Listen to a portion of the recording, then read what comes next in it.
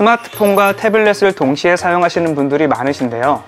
갤럭시 버즈 프로를 사용하고 계시다면 갤럭시 스마트폰과 태블릿을 마음대로 넘나들며 더 편리하게 사용하실 수가 있습니다. 예를 들어 버즈 프로를 통해 스마트폰으로 영상을 보다가 더 큰 화면의 태블릿으로 보고 싶다면 블루투스 설정을 다시 하는 번거로움 없이 자동으로 태블릿의 사운드를 들을 수가 있습니다. 또 태블릿으로 영상을 시청을 하시다가 스마트폰으로 전화가 걸려오는 경우가 있을 텐데요.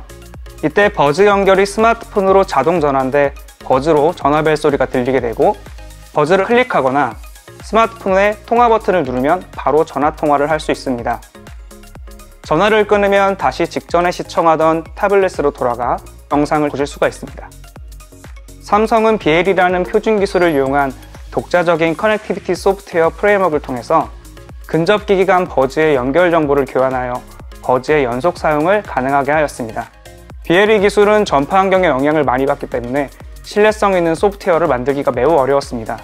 하지만 다양한 예외 상황을 고려한 설계를 통해서 보다 안정적인 버즈의 연결을 구현해낸 점에 큰 보람을 느낍니다. 이러한 연결 경험은 앱을 통해서도 가능한데요. 사용하시던 앱 상태 그대로 스마트폰과 태블릿을 넘나들면서 사용하실 수가 있습니다. 예를 들어 스마트폰에서 인터넷 쇼핑을 하다가 화면이 큰 태블릿에서 좀 더 자세히 보고 싶을 때 혹은 태블릿에서 검색을 하다가 결제를 하기 위해 스마트폰을 이용해야 하는 경험이 있으셨을 겁니다.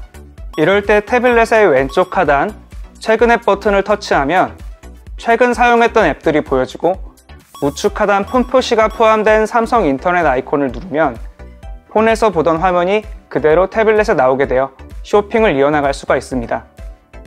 삼성 인터넷뿐만 아니라 삼성 노트 앱으로 편집 중인 작업도 같은 방법으로 폰에서 태블릿으로 태블릿에서 폰으로 하던 작업을 이어나갈 수가 있습니다.